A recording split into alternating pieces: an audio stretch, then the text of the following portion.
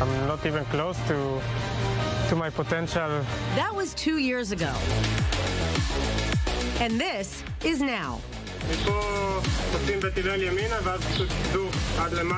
After spinning their wheels at home during the height of the corona pandemic, 26-year-old professional cyclist Guy Niv and his Israel Startup Nation teammates started gearing up for the Tour de France in the hills of northern Israel. Thinking about the Tour de France, for sure I have uh, goosebumps only from saying it and thinking about it. And for the past few weeks, Guy and his teammates have been training up to seven hours a day at over 6,000 feet above sea level in the picturesque mountains of Andorra, Spain. So basically here in Andorra, there is no flats. You, you either go up or go down. And it's a pretty special uh, place to do a training camp. Guy has been heading in the right direction ever since his bar mitzvah. When I asked for a present from my family, my parents, it was to go and watch the Tour de France. So I was there once when I was 13 years old. I don't think that when I asked to go to the tour, I understand what it really means.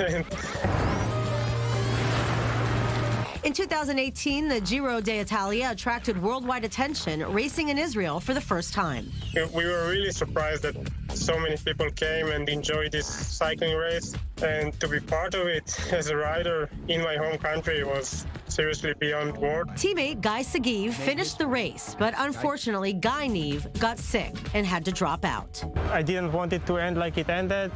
I've been always told we still need you to prove on a grand tour that you can do it.